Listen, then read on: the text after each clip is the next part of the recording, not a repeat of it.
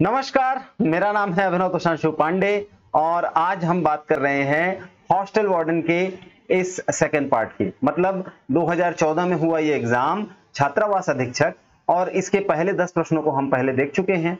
इस वीडियो में हम कक्षा प्रश्न क्रमांक 11 से लेके 20 तक के सारे प्रश्नों को देखेंगे। अच्छा मैं आप लोगों को एक बात बता दूँ कि ये एक नई सीरीज़ है, जहाँ हम 2019 से लेके अभी तक की सारी की सारी, पिछली छत्तीसगढ़ की सारी अलग अलग परीक्षाओं के बारे में बात करेंगे। हम यहाँ गणित विषय के जो है सारे प्रश्नों का जो है डिस्कशन करेंगे। और इसके साथ साथ हम ये देखेंगे कि टॉपिक वाइज किस किस परीक्षा के लिए कौन कौन से विशेष जो है हमको प्रबंध करने चाहिए या विशेष तैयारियाँ करनी चाहिए। तो समय व्यर्थ न करते हुए चलिए बढ़ते हैं आगे और देखते हैं कि हमारे पास आगे क्या है। आप लोगों को बता दूँ कि यहाँ पर हम प्रीवियस ईयर के एग्ज़ाम्स को कवर कर रहे हैं। पी वाई क्यू मतलब होता है प्रीवियस ईयर क्वेश्चन और यही हमारे इस प्लेलिस्ट का भी नाम होगा। हम व्यापम और सीजीपीएससी के जितने भी महत्वपूर्ण एग्ज़ाम हैं, उन सारे एग्ज़ाम्स के मैथ्स के प्रश्नों के ऊपर चर्चा करेंगे। ठीक है? तो मैथ्स की चर्चा यहाँ पर होगी। अभी पटवारी का एग्ज़ाम हम देख चुके हैं। हॉस्टल वार्डन में 2014 का जो एग्ज़ाम है वो देख रहे हैं। इसके बाद में जैसे जैसे प्रश्न पत्र हमें मिलते जाएँगे वैसे वैसे हम आगे की परीक्षाओं के मतलब इसके बाद की परीक्षाओं के बारे में भी बात करते रहेंगे। इसके बाद में data entry operator, R I ADEO ये सारे के सारे एग्ज़ाम्स हैं जो बहुत ही जल्दी नोटिफिकेशन में आने वाले हैं और इसीलिए हम इन सारे प्रश्नों की चर्चा कर रहे हैं। अच्छा आप लोगों से एक और रिक्वेस्ट है कि अगर आप लोगों के पास में कुछ पुराने प्रश्न पत्र पड़े हों तो आप स्कैन करके Abhinav dot Poshanshu dot twenty twenty at the rate G mail dot com ये हमारा ईमेल एड्रेस है। आप यहाँ भेज दें ताकि हम अच्छे से जो है आप लोगों के लिए जो भी जितने भी लेटेस्ट एग्ज़ाम हैं, उनके क्वेश्चन पेपर यहाँ पर ला सकें और डिस्कस कर सकें। तो चलिए हम देर नहीं करेंगे, प्रश्न देखेंगे। और हमारा पहला प्रश्न क्या है? देखिए दो अंकों का योग 144 है और उनका लघुत्तम समापवर्त 420 है तो छोटा अंक क्या होगा? अब इसके लिए जो है हम एक बात कर लेते हैं। सबसे पहले हम बात करेंगे, हमारा एक उदाहरण हो, होना चाहिए और उसके बाद में जो है एक बार कंसेप्ट समझ में आ जाए तो इस प्रश्न का भी उत्तर हम दे पाएँगे। अब देखिए कि मैं आपको अगर बोलूँ कि एक, पहला हमारा जो अंक है वो 30 है और हमारा जो दूसरा अंक है, मान लेते हैं कि वो है 45 है। ठीक है? अब यहाँ हम बात करते हैं कि इनको हम किस तरीके से इनका एलसीएम निकालेंगे। तो देखिए, अगर मैं इनको जोड़ूं तो हमको क्या मिलता है? पचहत्तर मिलता है। और अगर मैं इनका एलसीएम निकालूं तो 90 से जो है मेरा एलसीएम भी निकल जाता है। अब ये चीज़ मैंने की कैसी? ये प्रक्रिया हमारे लिए महत्वपूर्ण है। देखिए 30 को मैंने क्या लिखा? 30 को मैं लिख सकता हूँ तीन गुणा पाँच गुणा दो। पाँच दोने दस दिया तीस। इसी प्रकार से पैतालीस को मैं लिख सकता हूँ नौ गुणा पाँच। अब देखिए कि हम सारी संख्याएँ जो जैसे दो की घात वाली सारी आ, सारी संख्याएँ अलग रखेंगे तीन की घात वाली सारी संख्याएँ अलग रखेंगे पाँच की घात वाली अलग रखेंगे इस प्रकार हम सभी अभाज्य संख्याओं का एक युग्म बनाते हैं और उसमें उस अभाज्य संख्या के युग्म में जो सबसे छोटी घात हमको नज़र आती है सारे के सारे दिए हुए अंकों में, उसी को लेकर हम अपना एलसीएम या एस निकालते हैं एस महत्तम समापक।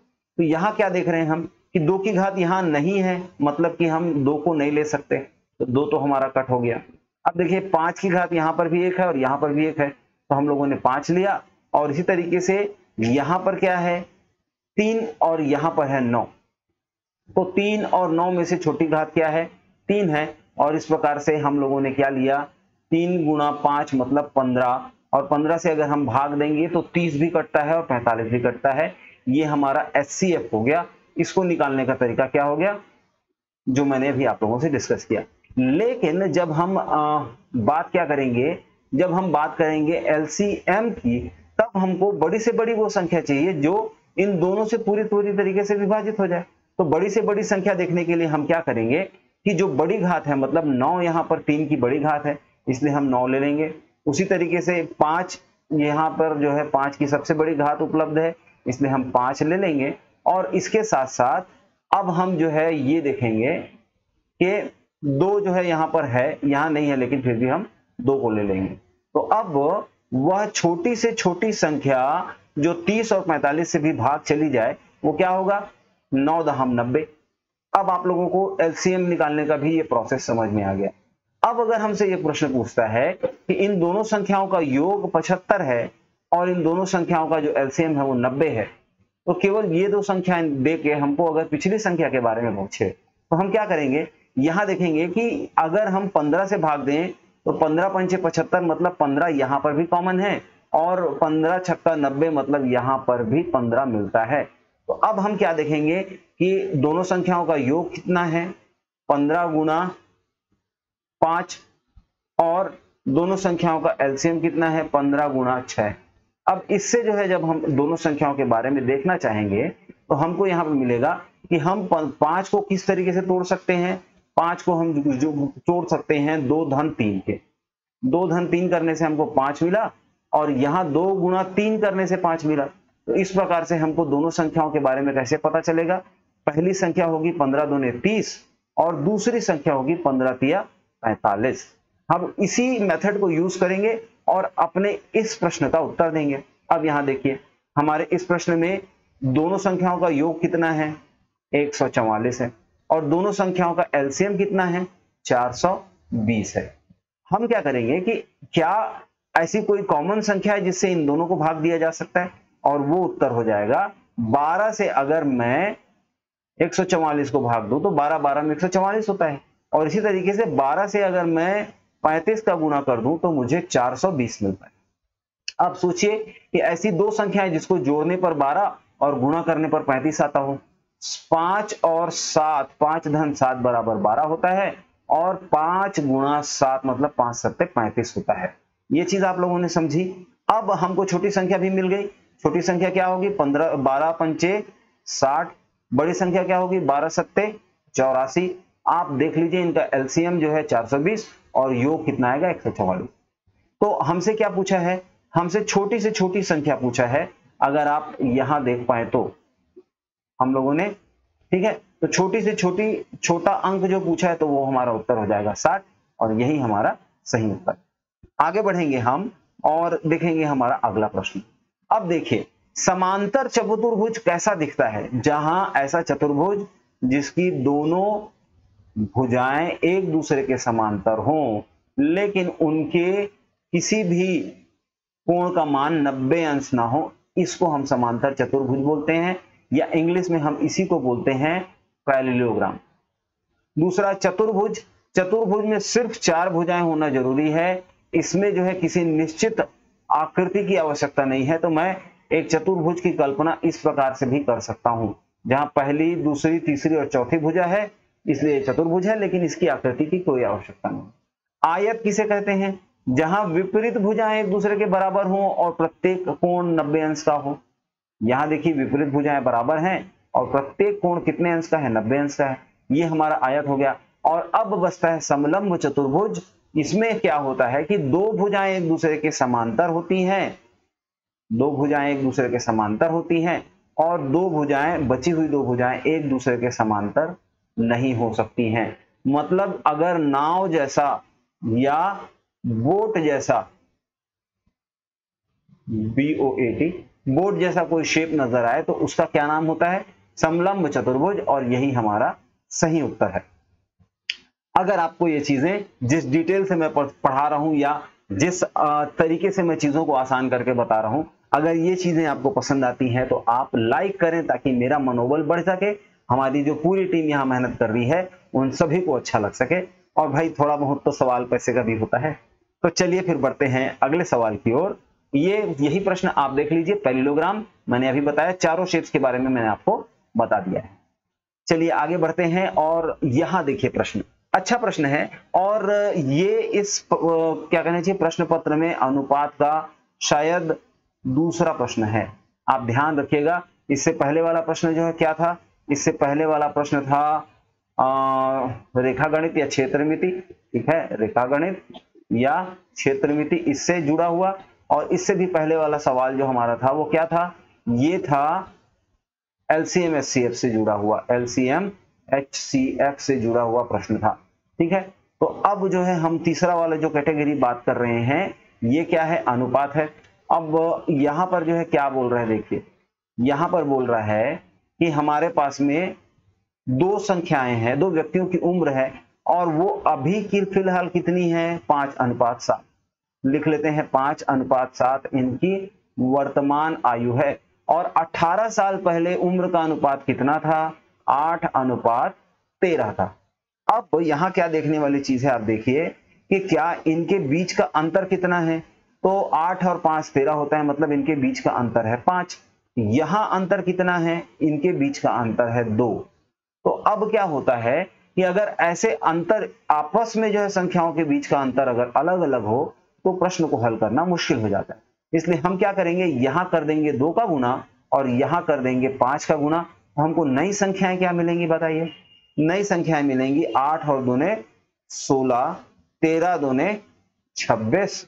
ये अनुपात हो गया यहाँ। और यहाँ देखिए पाँच पंचे पच्चीस और सात पंचे पैंतीस। अब बताइए कि 16 में मैं ऐसा कौन सा आ, कौन सी संख्या जोड़ दूँ कि मुझे उत्तर में 25 मिले? तो 16 में हम जोड़ सकते हैं 9 तो हो जाएगा 25 इसी तरीके से 26 में 9 जोड़ने पर हमको कितना मिलता है? 35 लेकिन यहाँ प्रश्न क्या बोलता है कि ये जो समय का अंतराल है वो नौ नहीं 18 साल है। मतलब इसका कितना गुना ज़्यादा? दो गुना ज़्यादा। तो अगर जो अंतर है वो दो गुना ज़्यादा है तो हमारी जो संख्या है 25 ये भी दो गुना ज़्यादा होकर कितनी बन जाएगी? 50 और यहाँ पर भी 35 ना होकर दो गुना ज़्यादा कितनी बन जाएगी? 70 तो हमारा उत्तर आएगा, इनकी वर्तमान आयु है 50 वर्ष और 70 वर्ष। हमारा ऑप्शन डी सही है। इसी तरीके से अब आप अगर प्रश्न, यही प्रश्न इंग्लिश में देखना चाहें तो यहाँ देखिए, और फिर हम बढ़ेंगे हमारे अगले प्रश्न की तरफ़। अगला प्रश्न क्या है भाई? चलो देखते हैं। तो ये रहा हमारा अगला प्रश्न। अब देखिए, यहाँ पर संभावनाओं के बारे में पहले बात करेंगे, और उसके बाद में हम अपने सही उत्तर का चयन करेंगे। देखिए, एक सरल रेखा, एक वक्र को। अब वक्र क्या होता है? टेढ़ी मेढ़ी रेखा। इसको वक्र कहते हैं। तो अगर मैं आपके सामने वृत्त रखूँ और आपसे पूछूँ कि क्या यह सीधी रेखा है, आप बोलेंगे नहीं। तो फिर अगर ये सीधी रेखा नहीं है तो वक्र होगी। इसलिए मैं वृत्त को वक्र की श्रेणी में रख सकता हूँ। ठीक है? अब देखिए कि क्या एक सीधी रेखा किसी वक्र को एक भी बिंदु पर ना काटे, ये संभव है? देखिए, यहाँ पे वृत्त के दूर से निकल जा रही है, किसी भी बिंदु पर नहीं काट रही। तो ये ये उत्तर सही है। फिर देखिए कि क्या एक रेखा किसी वक्र को एक ही बिंदु पर काटे। अब एक ही बिंदु पर काटना है, आप स्पर्श रेखा के बारे में अगर जानते होंगे तो आप जानेंगे कि किसी वृत्त की परिधि में सिर्फ़ एक ही बिंदु से गुजरने वाली इसी रेखा को हम क्या कहते हैं? स्पर्श रेखा कहते हैं। मतलब इस वक्र को ये एक सरल रेखा जो है किस एक ही बिंदु पर काट रही तो ये उत्तर भी सही है। अब क्या बोल रहा है कि एक से अधिक बिंदु पर? तो भैया, यहाँ पर जो है हमको हमारे पास में एक बहुत सिंपल सा जो है सॉल्यूशन हो गया, ऑप्शन हो गया। यहाँ देखिए, ये एक वृत्त है और एक रेखा इसको एक से अधिक बिंदु पर, बिंदु ए पर और बिंदु बी पर भी काट कर जा रही है। इसका मतलब ये है कि एक से अधिक बिंदु पर भी हमारा ऑप्शन सही है। लेकिन बताइए, क्या ये तीनों घटनाएँ एक साथ हो सकती हैं? नहीं हो सकती। तो इसलिए ही यहाँ पर जो है सोच समझ के लिखा गया है कि उपरोक्त में से कोई एक जो है सही हो सकती है किसी एक विशेष परिस्थिति पर, लेकिन तीनों एक साथ सही नहीं हो सकती। अन्यथा यहाँ पर नहीं तो क्या लिखा होता? उपरोक्त में से सभी, लेकिन उपरोक्त में से कोई भी का विशेष अर्थ है। तो ये ऑप्शन हमारा सबसे सही ऑप्शन है कि इन तीनों में से कोई भी एक स्थिति हम देख सकते हैं। इसलिए ऑप्शन डी इज़ करें आपको ये समझ में आया होगा? तो दोस्तों को भी शेयर कर दो भाई, ताकि उनको भी समझ में आए। ठीक है? तो चलिए आगे बात करते हैं। यही प्रश्न इंग्लिश में कर्व की बात किया है, जिसे हम हिंदी में क्या बोलते हैं? वक्र, और स्ट्रेट लाइन को बोलते हैं, सरल रेखा। ठीक है? चलिए, आगे बढ़ते हैं। अब देखो, समांतर चतुर्भुज और यहाँ पर जो है क्षेत्रफल की बात है। फिर से क्षेत्रमिति आ गया। अब आपको समझिए कि क्षेत्रमिति के कितने सवाल पूछ चुका है। पुताई वाला प्रश्न, वो भी क्षेत्रमिति था। ये वाला प्रश्न भी क्षेत्रमिति है, शायद आगे भी देखने के लिए मिले। तो यहाँ समझने वाली बात क्या है, देखिए। अगर हम समांतर चतुर्भुज, अब जिस व्यक्ति को वहाँ समांतर चतुर्भुज वाला एक प्रश्न में तो बात थी ना तो ये समांतर चतुर्भुज ऐसा दिखता है, यहाँ से पता चल गया। अगर आप प्रश्न पत्र ही अच्छे से पढ़ते हैं तो कुछ कुछ प्रश्नों के उत्तर आपको वही मिल जाते हैं। उनमें से एक ये है, ठीक है। तो यहाँ क्या देख रहे हैं हम लोग? हम लोग यहाँ देख रहे हैं कि समांतर चतुर्भुज का क्षेत्रफल जो है कैसे निकालेंगे? तो समांतर चतुर्भुज समांतर चतुर्भुज, अरे चू हो गया, चतुर। चतुर्भुज का क्षेत्रफल कितना होता है? ये होता है आधार आधार गुणा ऊंचाई। मतलब यहाँ पर ये ए बी जो है हमारा आधार है, और यहाँ से अगर हम एक सीधी रेखा खींचे जो यहाँ नीचे आधार को 90 अंश पर काटती है तो ये इसकी ऊंचाई हो जाएगी एच ठीक है? अब हम बात करेंगे कि किसी त्रिभुज का क्षेत्रफल क्या होगा? तो त्रिभुज का क्षेत्रफल होता है, त्रिभुज का क्षेत्रफल, ये कितना होता है? एक बटा दो आधार गुणा ऊंचाई ठीक है? हम यहाँ पर भी वही बात करेंगे, यहाँ से 90 अंश को काटने वाले 90 अंश बनाने वाली एक सीधी रेखा खींचेंगे, यही हमारी ऊंचाई है। यहाँ पर दोनों की ऊंचाइयाँ बराबर हैं, क्योंकि ये रेखाएँ एक दूसरे के समांतर हैं। ठीक है? तो यहाँ पर हम बोल सकते हैं कि x क्या है? त्रिभुज का क्षेत्रफल है, और y क्या है? समांतर चतुर्भुज का क्षेत्रफल है। तो हम यहाँ पर आराम से देख सकते हैं कि y जो है वो x का दो गुना है। अब इसलिए x बटा वाई मतलब भाई, x क्या है? त्रिभुज का क्षेत्रफल, है ना? तो x जो है त्रिभुज का क्षेत्रफल है और y जो है चतुर्भुज का क्षेत्रफल है तो इनके बीच का अनुपात तो एक अनुपात दो होगा और इसीलिए हमारा ये उत्तर सही है। ठीक है? त्रिभुज का क्षेत्रफल समांतर चतुर्भुज के क्षेत्रफल का आधा होता है। ठीक है? तो अगला प्रश्न देखते हैं। यही प्रश्न पहले इंग्लिश में देख लो भैया। अंग्रेज़ों, भारत छोड़ो। लेकिन चलो यहाँ प्रश्न तो देख लो। ठीक है? तो चलिए इसके बाद में हम देखेंगे अगला प्रश्न। और ये तो सीधा इंग्लिश में आ गया। अच्छा चलो। अब क्या है यहाँ कहानी? देखो, कि एक व्यक्ति को कुल नौ हज़ार रुपए की उधारी लेना था मोबाइल खरीदने के लिए। उसके पास दो दोस्त थे, अरे दो बैंक हैं। तो बैंक से अलग अलग मात्राएँ अलग अलग अमाउंट जो उधार लेता है। एक को पाँच प्रतिशत वार्षिक की ब्याज देना है और दूसरे को सात प्रतिशत वार्षिक की ब्याज देना है। जिसको चुकाने में उसको कितना समय लग गया? दो साल लग गए। देखिए, यहाँ पर दो वर्ष की बात कर रहे हैं। ठीक है। और अगर कुल मिला के वो ब्याज कितना दिया? नौ सौ चौवन। तो फिर जो है वो कहाँ से कितना पैसा लिया था? अब देखिए, सबसे पहले हम लोग बात कर लेंगे साधारण ब्याज की। तो साधारण पाँच प्रतिशत, सात प्रतिशत और नौ सौ चौवन, ठीक है? तो यहाँ हम ले लेते हैं एक स्क्रीन ताकि जगह मिल जाए। तो पाँच प्रतिशत, सात प्रतिशत नौ सौ चौवन और कुल मिला के राशि थी नौ हज़ार रुपए। ये डेटा हम लोगों ने रख लिया। अब देखिए, अगर मैं मानूं कि ये जो सात प्रतिशत की दर से जो जो ब्याज लिया था, वो राशि एक्स है। तो साधारण ब्याज का पहले फॉर्मूला बता दो भैया। तो साधारण ब्याज क्या होता है? साधारण, यहाँ नहीं, यहाँ लिखते हैं। साधारण ब्याज बराबर मूलधन गुणा दर गुणा समय बटा सौ। ये अब मूलधन क्या है? यहाँ पर एक्स है। दर कितनी है? सात प्रतिशत। और समय कितना है? दो वर्ष। और बटे में सौ। ठीक है? इसके साथ साथ बची हुई राशि कितनी होगी? अब भाई मैं नौ हज़ार में से मान लीजिए दो हज़ार मैं यहाँ लेता हूँ तो बचा कितना? सात हज़ार। तो उसी प्रकार यहाँ बची हुई राशि हो जाएगी नौ हज़ार ऋण एक्स और दर कितनी है? पाँच प्रतिशत। और समय कितना लगा? दो वर्ष बटा सौ। और ये दोनों ब्याज को मिला देने से हमको कुल कितना पैसा देना था? नौ सौ चौवन रुपए।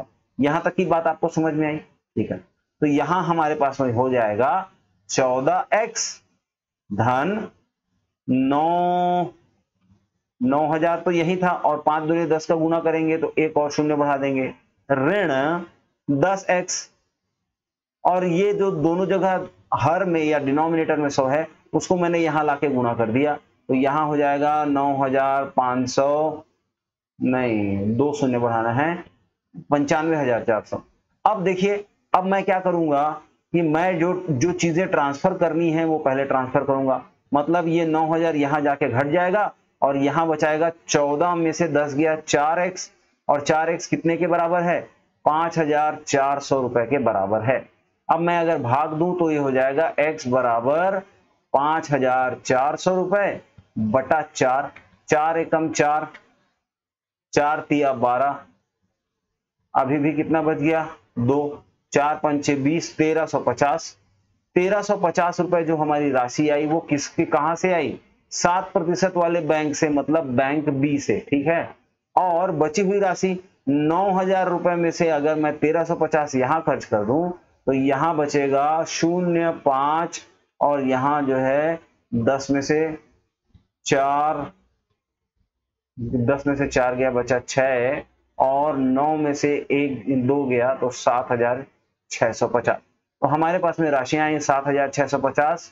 पहले बैंक से पाँच प्रतिशत वाले बैंक से सात हज़ार छह सौ पचास, और सात प्रतिशत वाले बैंक से पाँच, नहीं, तेरह सौ पचास, ठीक है? तो चलिए अब हम अपने ऑप्शंस देखते हैं। देखिए, पाँच प्रतिशत वाला बैंक कौन सा है? पर हमारा बैंक ए है। और सात प्रतिशत वाला बैंक जो है हमारा बैंक बी है ठीक है? तो पाँच अब पाँच हज़ार वाले से सात हज़ार छह सौ पचास और सात प्रतिशत वाले से तेरह सौ पचास मतलब हमारा बी ऑप्शन सही हुआ। ये हमारा उत्तर है। मुझे उम्मीद है कि आप लोगों को ये प्रश्न भी समझ में आया ही होगा। तो अब बढ़ेंगे हम अगले प्रश्न की ओर और, और यहाँ पर देखिए यहाँ पर भी बहुत इंटरेस्टिंग चीज़ है और यहाँ फिर से हम क्षेत्र मिति और रेखा गणित यहाँ पर पहुँच गए। मतलब ये बात आपको समझना चाहिए कि आप कुछ पढ़ें या ना पढ़ें, लेकिन ये ज़रूर पढ़ के जाना। जैसे बहुत सारे सरकारी एग्ज़ाम्स होते हैं जहाँ पर आपको बोला जाता है कि सिंपल इंटरेस्ट और कंपाउंड इंटरेस्ट ज़रूर पढ़ें। उसी प्रकार अगर आप हॉस्टल वार्डन का एग्ज़ाम दे रहे हैं तो रेखा गणित क्षेत्र मिति और अनुपात, ये कुछ ऐसे टॉपिक्स हैं जिनके बारे में आपको हमेशा बहुत ही ईमानदारी से पढ़ाई करनी चाहिए। तो अगर अभी तक आप लोगों ने पढ़ाई शुरू नहीं की है तो कीजिए।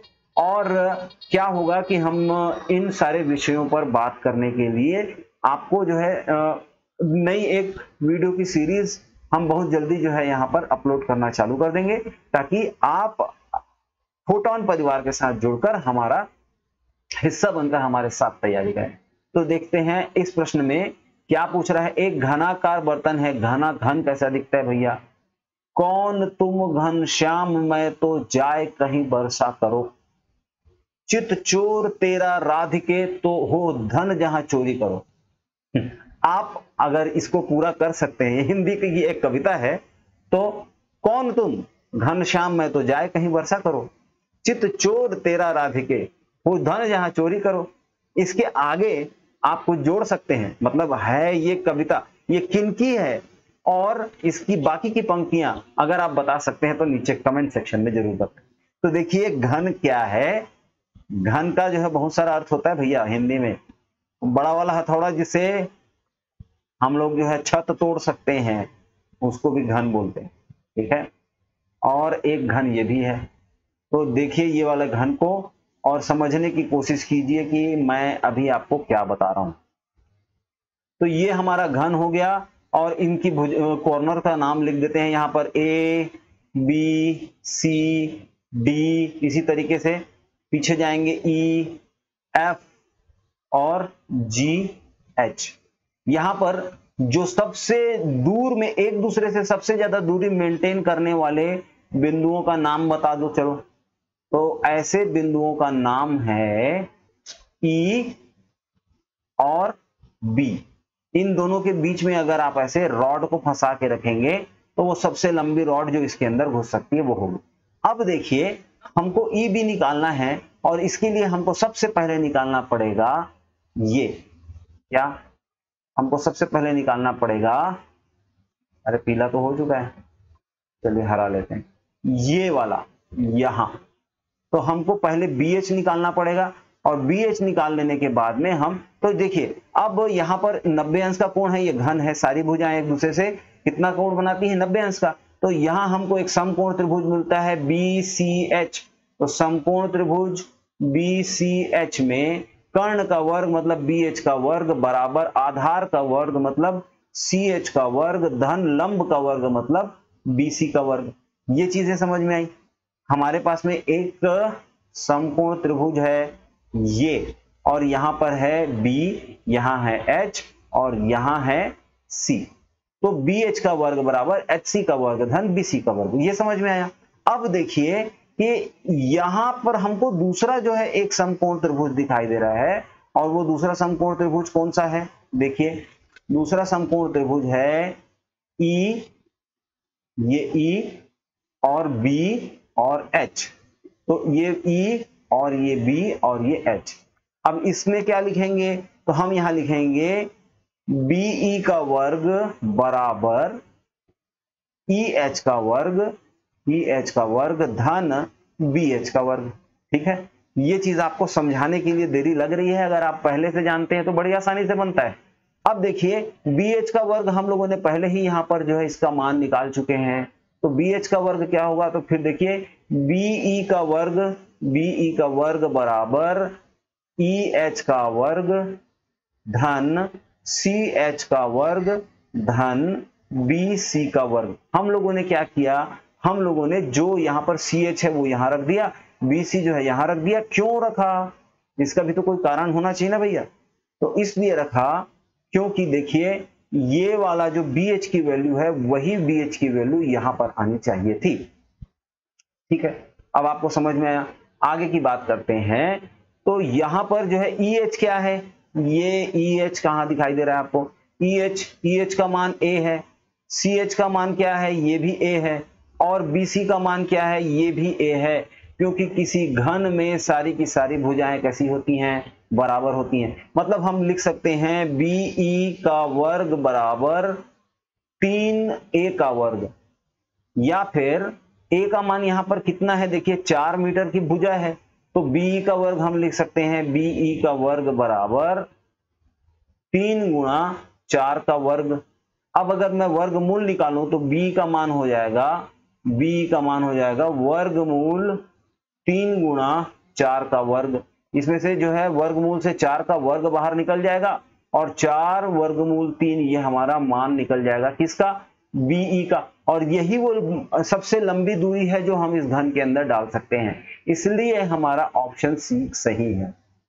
बात थोड़ी लंबी इसलिए है क्योंकि सब चीज़ें समझानी पड़ी। अगर आपको पहले से आता है तो चुटकियों की बात थी। ठीक है? तो यही प्रश्न एक बार इंग्लिश में देख लो, फिर बढ़ेंगे आगे। अगला, अगली बात क्या है देखो। ये ये देखो बच्चों का खेल।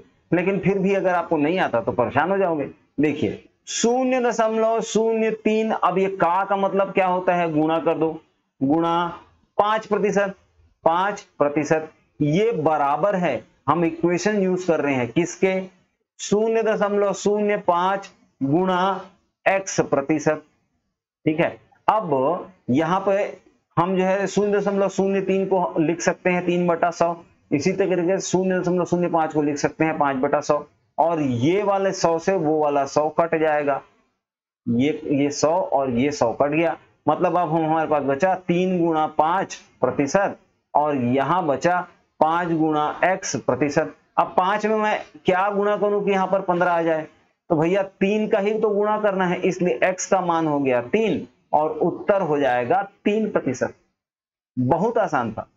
आप समझ के देखिए कि कितनी अच्छी बात थी। खैर, हम आगे और बात करेंगे अगले प्रश्न के बारे में। और अगला प्रश्न क्या है, ये देखिए। अगला प्रश्न कहता है कि एक वृत्त की त्रिज्या आर है। आर का मान कितना हो गया? जितना भी रहा होगा। अब अगर वृत्त की त्रिज्या को एक सेंटीमीटर बढ़ा देंगे तो आर वन का मान कितना हो गया? आर वन का मान हो गया पिछला आर प्लस एक। अब वृत्त की परिधि तथा नए व्यास का अनुपात, व्यास क्या होता है? व्यास डी डायामीटर बराबर होता है टू आर अब हमको डी वन निकालना है तो टू आर वन निकालना पड़ेगा और ये हो जाएगा आर धन, नहीं, ये हो जाएगा डी धन टू दो गुना है ना भाई? तो अब यहाँ पर जो है हम क्या देखते हैं कि जो नई वृत्त की परिधि क्या होती है? अब परिधि मतलब सरकमफरेंस और सी का मान होता है टू पाई आर या हम इसी को क्या लिख सकते हैं? पाई गुणा डी लेकिन नए वृत्त की परिधि निकालना है मतलब सी वन तो यहाँ पर डी वन हो जाएगा। बटा डी वन करो तो यहाँ पर भी बटा डी वन तो डी वन से डी वन कट जाएगा और हमारे पास बचा क्या? पाई बटा एक। यही अनुपात होगा। पहला उत्तर हमारा सही है। बड़ी आसान चीज़ें हैं, लेकिन हमको समझना है। ठीक है? अगला प्रश्न देखिए। तो अगले प्रश्न में, चलो एक बार इंग्लिश में देख लो, फिर अगला प्रश्न देखेंगे। अगला प्रश्न है, और भी आसान। चलो, इसको दो अलग अलग तरीकों से हल करने की कोशिश करेंगे। सबसे पहले देखिए ए बी बटा ए बी बराबर ए सी है मतलब ये कैसा कैसा त्रिभुज है भाई? समबाहु त्रिभुज है, सम द्विबाहु त्रिभुज है, ये दोनों बराबर है। जब दो भुजाएँ एक दूसरे के बराबर हैं मतलब ये वाला कोण और ये वाला कोण दोनों बराबर होगा। और ए बी सी इसका मतलब क्या होता है? जो बीच वाला है, उसकी बात कर रहे हैं। ए से चालू करेंगे ए से आए बी में और बी से आए सी में। मतलब इसी वाले कोण की बात हो रही है। और कितना है? पचास है। तो क्योंकि ये पचास है, इसलिए ये भी पचास है। और त्रिभुज की सारी अंत भुजाओं का योग कितना होता है? 180 तो 180 बराबर 50 धन 50 डिग्री और धन कोण ए की बात कर लेंगे तो ए का मान कितना निकल गया? ए का मान निकल गया 80 और अब बताइए, यहाँ पर 90 अंश का कोण बना रहा है। ये दोनों मतलब ये रेखा जो है, कोण ए को दो बराबर हिस्सों में बांट देगी। मतलब ये हो जाएगा, हमसे पूछा क्या है? एम ए बी एम से चालू करेंगे, देखो। एम से चालू करेंगे एम से चालू करेंगे ए तक जाएँगे और फिर बी मतलब इसी कोण की बात हो रही है। तो कोण एम ए बी बराबर कोण बी ए सी बटा दो। और कोण बी ए सी मतलब कोण ए का मान कितना है यहाँ? 80 है तो 80 बटा दो कितना हो जाएगा? 40 80 बटा दो 40 हो जाता है। तो इस तरीके से हमको 40 डिग्री मिला, हमारा उत्तर सी सही है। दूसरे तरीके से देखिए तो दूसरे तरीके से ये हो सकता है कि भैया ये, अब चलो अगले पेज में देख लेते हैं। ये वाला कोण हमको कितना दिया है? ये वाला कोण हमको दिया है 50 ये वाला कोण हमको पता है कि ये 90 अंश बना रहा है। तो त्रिभुज की तीनों अंत भुजाओं का अंत कोणों का योग क्या होता है? 180 180 बराबर 50 धन 90 धन कोण एम अब बताओ, और ज़्यादा आसान हो गया। तो यहाँ से जो है 50 और 90 कितना होता है? 140 और 180 में से 150 140 जाएगा तो बचेगा कितना? 40 हो गया उत्तर। दो अलग अलग तरीके, दोनों आसान। आप जो भी जानना चाहें, उस तरीके से, जो आपको आसान आसान लगेगा, आप उसी तरीके से तैयारी कीजिएगा। तो हम लोगों ने छात्रावास अधीक्षक के 2014 के सारे के सारे प्रश्न देख लिए। इसके बाद क्या करना है? बताओ। इसके बाद क्या करोगे? इसके बाद में चैनल को अगर सब्सक्राइब नहीं किए हो तो सब्सक्राइब करोगे। और अगर सब्सक्राइब कर लिए हो तो पहले लाइक करो और फिर दोस्त लोगों के साथ में शेयर कर दो भैया। बहुत मेहनत किया हूँ मैं तुम लोगों के लिए, ठीक है? तो शेयर वेयर हो गया। अब अगली चीज़ क्या है कि अगर आपके पास में प्रश्न पत्र है तो मेल करना है, ठीक है? और अगर आपको प्रैक्टिस करना है तो टेलीग्राम चैनल में जाएँगे, कहाँ मिलेगा डिस्क्रिप्शन में। तो इस तरीके से आप हमारा सहयोग करें, हम आपका सहयोग करेंगे और मिलके आगे बढ़ेंगे। जुड़े रहिए हमारे इस चैनल के साथ में, जिसका नाम है फोटोन, और मैं हूँ आपका टीचर अभिनव तोशांशु पांडे। ठीक है? मिलते हैं अगले वीडियो में। धन्यवाद।